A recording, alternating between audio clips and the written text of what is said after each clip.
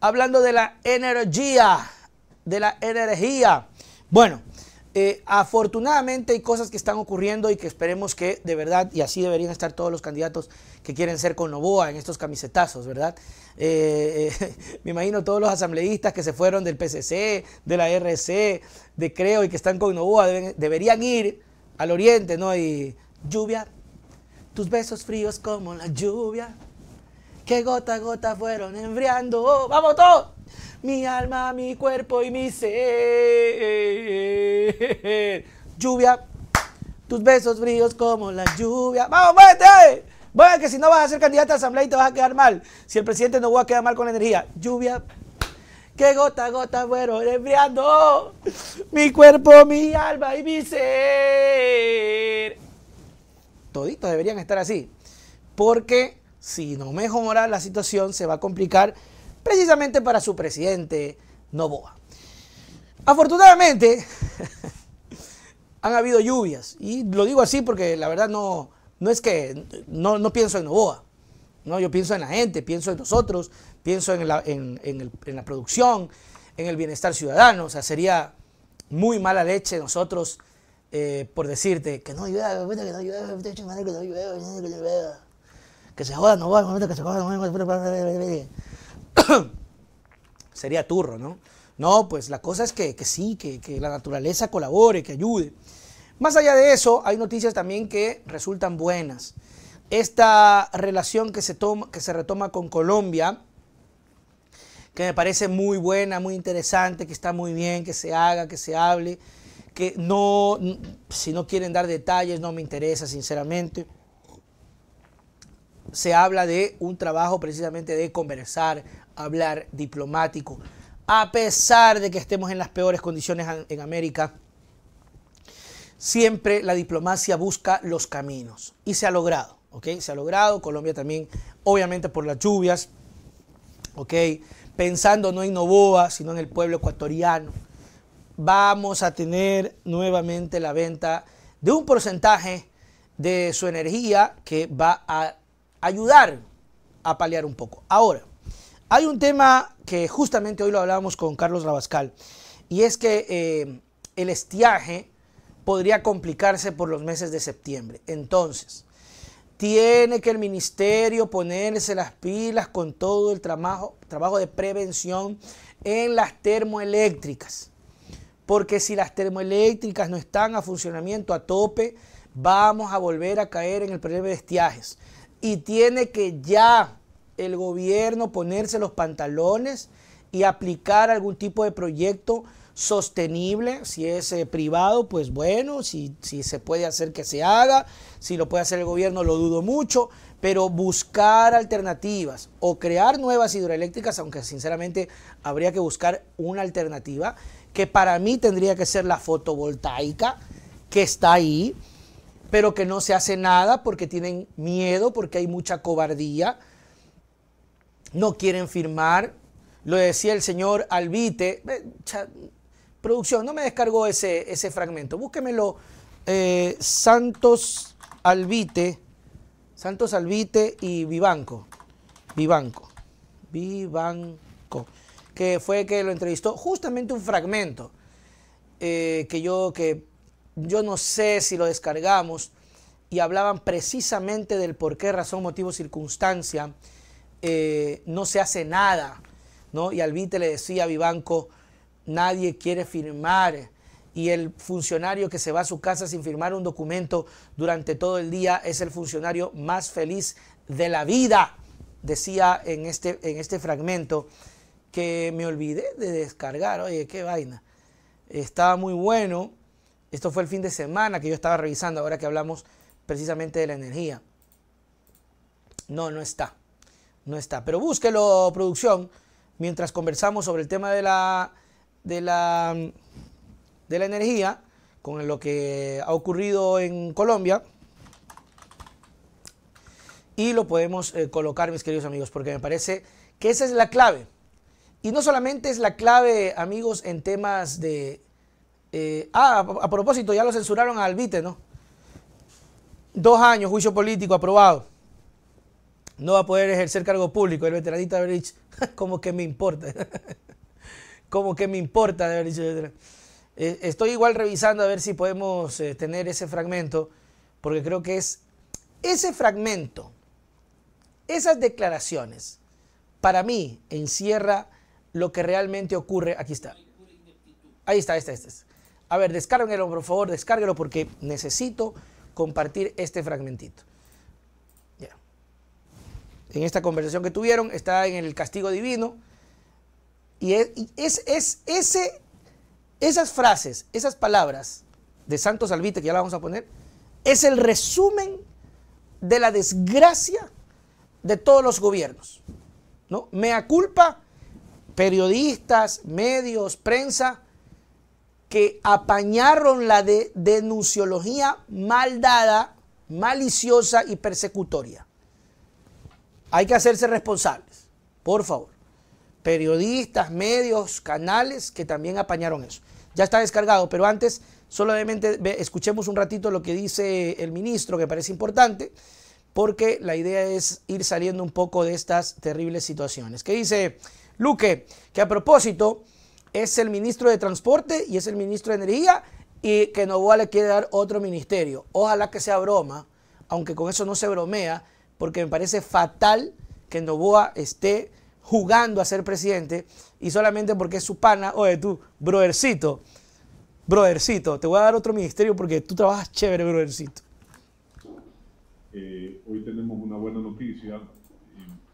Después de varias conversaciones hemos reactivado la interconexión con Colombia y han decidido vendernos energía. Colombia. Habla como otros son el gol. Hemos acordado ah, el día de hoy una compra que va a reducir el déficit de 10.4 a 4.2, es decir, 6.2 gigavatios horas de reducción. Eso implica que con 4.2 gigavatios horas los cortes para el día miércoles, eh, martes, miércoles y jueves van a ser eh, bastante más reducidos y posiblemente estandarizados, que era una de las peticiones que teníamos. Bueno. Este es el nivel de cortes que hubo en noviembre del año pasado por mes y medio aproximadamente. Y, lo más probable es que tengamos, eh, que no tengamos cortes el día viernes, sábado y domingo. Ese, ese, eh, ese es el objetivo que vamos a alcanzar con esta compra de Imagínate qué triste, ¿no? Día vamos a tener a Colombia. Evidentemente Imagínense qué triste eh, que, en que, en estas épocas nosotros estemos eh, supeditados, eh, estemos este, rezando y, festejando y agradeciendo que el viernes, el sábado y el domingo no nos corten la energía. Imagínense qué, qué épocas tan feas a las que llegamos por la ineptitud, ¿ok? Por la ineptitud. A ver, póngame el fragmentito que conversó Santos Alvite, no, Avite creo que es, Alvite, censurado ya. La asamblea le dijo, ñaño, papá, brother, abuelito, usted no va a poder hacer ejercicio, ejercicio, no va a poder ejercer cargo público, ejercicio público. Imagínate el Alvite en la calle. ¡Ey, señor, usted no puede hacer ejercicio público! No, no puede hacer cargo público durante dos años. Alvite decir, ¿y a mí qué me importa si yo ya ni trabajaba? es que ya está veterano, está veterano, está veterano, ya está veterano, está veterano. A ver, póngame por favor eh, este lo de las declaraciones, el meollo, la razón, el corazón de la desgracia. ¿Es sabotaje? Yo diría que no. ¿O hay pura ineptitud? Pura ineptitud. Es más, hay ineptitud endémica del ministerio, pero, o sea, que viene desde la fundación del ministerio, creo. Viene desde la fundación de la burocracia. La burocracia le tiene miedo a la Contraloría. Hay mis semejantes contradores, ah. hay, para tenerles miedo. Entonces prefiero no firmar antes de que me persiga. Usted lo ha dicho. El burócrata que no ha firmado durante las ocho horas que ha estado en la oficina nada, sale feliz a su casa, abraza a su mujer, a sus hijos. Y se puede estar así 30 años de carrera en buena hora. En buena hora. El que no firma nada. ¿Por que la Contraloría es el cuco de la burocracia. Ok, creo que, creo que el señor hoy censurado en esta conversación, creo que, creo que devela lo que yo me he cansado de decirlo. Creo que al menos nos llevamos ese orgullo de mencionar y de decir que siempre hemos creído que eso ha sido. ¿no? Ese ha sido la debacle, ese ha sido el costo, el costo de una persecución y que hay que asumir responsabilidades de una sociedad que luego de que salió un gobierno, no un bloque de sociedad, un grupo de políticos que no quiso eh, perderse ningún espacio, no solamente después de los 10 años, sino incluso durante los 10 años con otros personajes, pero se potencializó cuando terminan los 10 años del correísmo y se elaboran estas, estas prácticas de la denuncia precisamente para desnotar al grupo. ¿no? Entonces, ve, ve donde, y me acuerdo tanto de los titulares, donde toca sale pus, ¿no? Porque la idea era acabar, esto había acabar. Esa situación, esa situación, mis queridos amigos, es lo que ha hecho que este país esté estancado. Lo dice Albite, lo dijo el ministro de Lazo, este señor, ¿cómo se llamaba? Que fue secretario de Seguridad. Eh, Flores, creo que era pedido Flores. Bueno, ustedes me ayudarán un poquito con, con eso. Que también lo dijo el señor Flores. Esta situación de no querer firmar para no ser perseguido, porque se dieron cuando salió este otro grupo político las denuncias a millar y surgir de lo que sea, no estoy defendiendo, porque puede que sí exista algún proceso. Pillos existen en cualquier, en todo lado y en todo gobierno. Pero perdónenme, amigos, se exageraron. Se exageraron al punto, y aquí hay que ser también consciente que medios, periodistas, comunicadores, canales, apañaron esas denuncias de lo que sea, algunas iberosímiles, con tal de que, vean, ahí está, vean, vean, vean los ladrones, Vea los ladrones, ahí está, vea. Sobreprecio, ahí está, vea. Vea cómo se llevan la plata, vea. Uy, Dios mío, lindo. Ordóñez, Ordóñez, perdón, Ordóñez, no Flores, Ordóñez. Ordóñez. Cuidado, mis queridos amigos, esto es una línea muy delgada. Tampoco estoy diciendo que, ah, entonces Piolín, tú, deja que robe nomás. Ah, que robe todo el mundo. No, no, no, no. Pero hay que caminar a mejorar esos procesos. Hay que ir a mejorar los procesos porque Contraloría, como lo dice el Señor, es el cuco. A cualquier persona, no un veedor, un fiscalizador de obra, por ahí medio se le fue el ojo por alguna cosa, ¡pac! 50 mil dólares de multa. Por favor. Entonces la gente no quiere hacerse cargo de nada, la gente no quiere firmar. Los que son estas personas en, los, en las instituciones públicas que arman un equipo, porque se arma un equipo para recibir compras, Dios mío lindo, quieren poco más que venga eh, eh, la firma del, presidente de la República con un par de gotitas de sangre y esas gotitas de sangre tienen que venir anexado un examen de ADN para reconocer que efectivamente es el presidente el que autoriza. Una cosa así, una cosa así. Y, y obvio, obvio como funcionario, pues yo no quiero tampoco caer en eso. Vea, ahí está la ineptitud. No, no hay sabotaje, no hay nada. Es el terror, es el miedo. Pero ¿cómo vas a poder trabajar si desde el presidente Moreno, yo me acuerdo, yo me acuerdo, clarito. Yo me acuerdo clarito cuando el presidente Moreno dijo tan, yo dije, ese día se jodió. No, no era Flores, no era Flores. Era el otro, el otro. Ese día se jodió el país cuando yo lo escuché a, Moreno decir, Juan Brits, vamos a hacer una cirugía, una cirugía mayor contra la corrupción. Por eso, Juan Britos, yo les invito a que ustedes denuncien. Denuncien. Denuncien toda la corrupción, Juan Britos. No vamos a permitir que esto nos gane. Así que yo les pido, ecuatorianos, denuncie para combatir juntos la corrupción. Yo cuando escuché eso dije, se odió. Se jodió. ¿Por qué?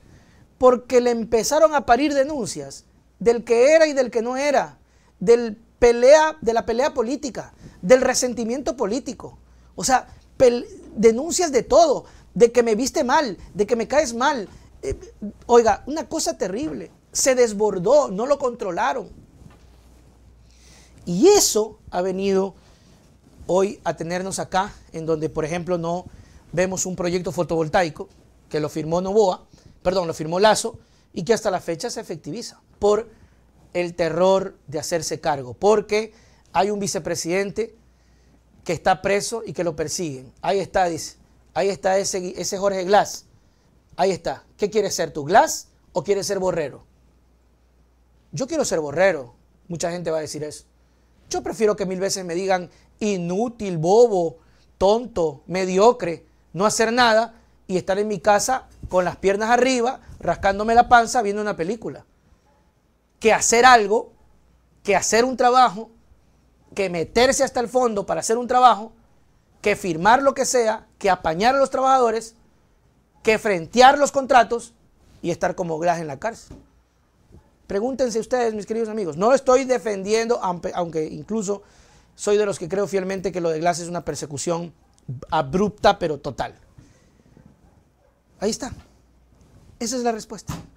Así que muy, muy difícil está eso. Muy, muy difícil. Peor con lo de Novoa y la ministra Robo. Peor. Con, ese fue el ejemplo. Ese fue un morenito diciendo algo con la ministra, con la ministra Robo. Señoras y señores, este sábado 27 de julio, sábado 27 de julio, los espero en el show Nada es suficiente de Stand Up Comedy. Esta faceta que yo la he proyectado y que nos va bastante bien. El sábado en Guayaquil y el sábado 3 de agosto en Quito, en la Cámara de Comercio y en Guayaquil el Teatro Las Cámaras al lado del Hilton Colón. Precios a la venta en pantalla, 20 platea alta o atrás, 25 platea abajo en medio y 30 dólares los asientos VIP. Sin embargo, si usted compra ahora, usted recibe el 20% de descuento por compra anticipada, es decir, 5 dólares menos en cada boleto que usted ve en pantalla. Escríbanos al 099-6522-664, 099-6522-664. Nada es suficiente, el show de stand-up comedy que eh, lo estamos eh, desarrollando y que está hermoso. Vamos, compra ya.